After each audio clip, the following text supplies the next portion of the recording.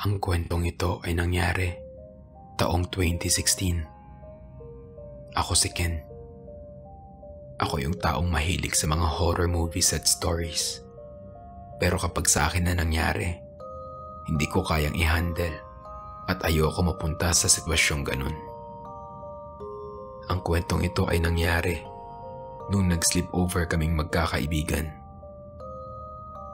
6.30pm, nanunood kami ng mga kaibigan ko ng Conjuring 2. After namin manood, nagkwentuhan kami ng katatakutan about sa riverside sa Marikina River kung saan kami nagja-jogging tuwing umaga. Pero pagkagat daw ng dilim, may mga katatakotang nangyayari daw sa lugar na iyon. 8pm. Maaga pa naman. Kaya naisipan naming pumunta sa Riverbank Center kasi may perya doon. Tuwing December kasi, may carnival doon sa Riverbanks. 10.45pm. After namin magperya, naisipan naming maglakad na lang pauwi sa bahay nila Nikki, yung best friend ko. Sabi nila, sa riverside daw kami dumaan. Sabi ko sa kanila wag na.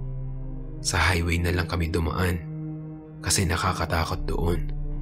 At yun yung pinag-uusapan namin kanina. A majority wins.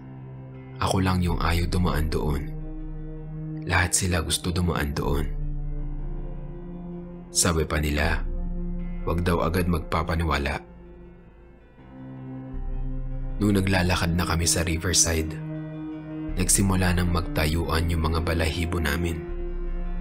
Hindi lang sa lamig, dahil sa nakakatakot pala talaga yung lugar kapag gabi. Kasi ang dilim at malalayo ang pagitan ng mga lamppost doon. Sa kakalakad naming apat, napansin namin na parang bumabalik lang kami sa dinadaanan namin tapos biglang may nasalubong kaming babae na nakasuot ng puting damit. At tinanong ni Ryan yung babae kung malapit na ba yung bayan. Sabi ng babae, Oo, malapit na. Tapos iniwan ni Glenn yung paper bag ng 7-Eleven para palatandaan kung bumabalik nga lang ba kami sa lugar na iyon. Tapos parang Bumalik na naman kami sa lugar na iyon at nakita na naman namin yung babaeng nakaputi. Sabi ko sa isip ko, hindi na maganda ito. Nakita namin yung paper bag ng 7-Eleven na iniwan ni Glenn.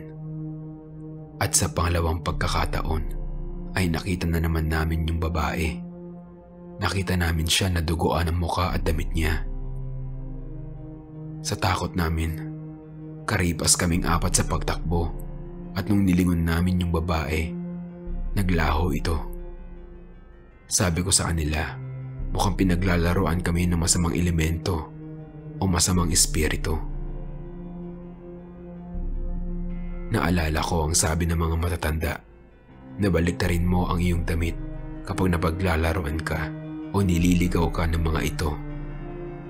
So ayun, ginawa nga namin.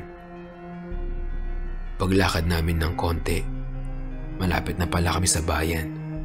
At pagtingin namin sa orasan ng cellphone ko, 1.27am na pala. Tatlong oras na pala kami naglalakad. Nagpatuloy ang paglalakad namin hanggang makauwi sa bahay nila Nikki. Pagkatapos ng karanasan na yon, hinding hindi na ako ulit maglalakad ng dis oras ng gabi sa riverside ng Marikina River.